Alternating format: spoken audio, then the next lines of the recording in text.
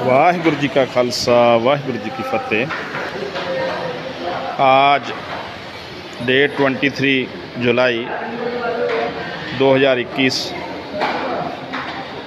दिन शुक्रवार।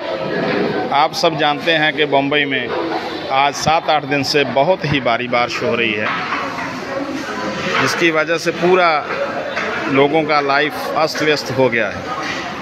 और चिपलुन साइड महाड़ साइड जो कि गोवा को जाते हुए रास्ते में आता है। वहाँ का पूरा एरिया महाड़ का पूरा सिटी, पूरा पानी में डूब गया है। आज सुबह वहाँ से हमको एक टीम आई, उनके आसपास के गाँव वाले। उन्होंने आके बोला कि वहाँ का बहुत ही हालत ख़राब है, किसी को खाना नहीं मिल रहा, कितने की, कितने लोगों की जान चली गई है।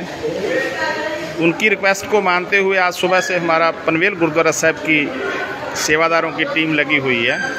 पाँच हज़ार आदमी का खाना बन के अभी पूरा पैक होके वहाँ महाड़, चिपलन सब जगह जाके बांटा जाएगा।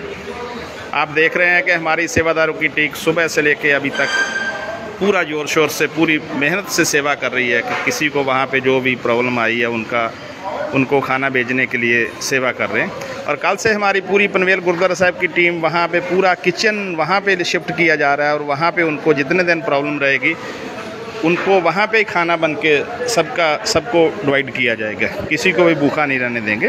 ये हमारा मेन मोटो है। और हम सबको अपील करते हैं कि ऐसे समय के ऊपर सब गुरुद्वारा, सब कम्युनिटी सब जो भी मेंबर है मतलब जो भी सेवा करने जाते हैं, वो आगे आए और मानवता की सेवा करें। अभी ये देखो, सुबह की हमारी टीम लगी हुई है। ये काम कर रहे हैं।